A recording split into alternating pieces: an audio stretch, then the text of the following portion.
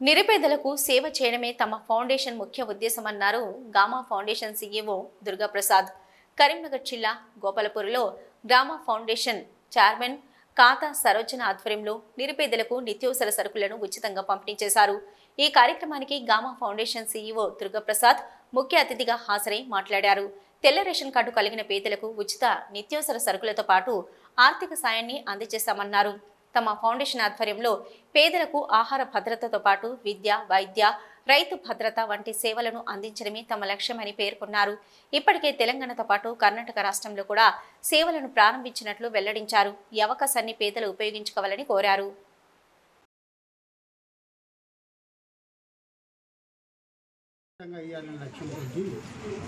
ఈ ట్రస్ట్లో సభ్యతను తీసుకున్న ప్రతి కుటుంబానికి శిక్షణ ఇవ్వాలని లక్ష్యం కొద్ది మనం ట్రస్ట్ను నిర్మాణం చేయడం జరిగింది.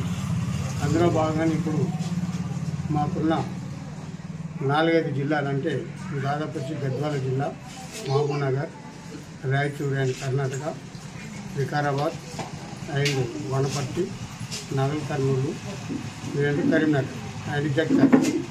ఈ జిల్లాలో విస్తరించుకుంటూ ప్రజలకు సేవ చేసుకుంటూ వస్తున్నాము దీనిలో ముఖ్యంగా అన్ఎంప్లాయ్మెంట్ని ఎంప్లాయ్మెంట్ చేయాలి. ఆ ఎంప్లాయ్మెంట్ ద్వారానే ప్రతి ఎంప్లాయ్కి ఒక పది కుటుంబాలను లిమిట్గా ఇస్తూ ఆ పది కుటుంబాలకి సర్వీసులు అందే విధంగా ఏర్పాటు చేయడం జరుగుతుంది.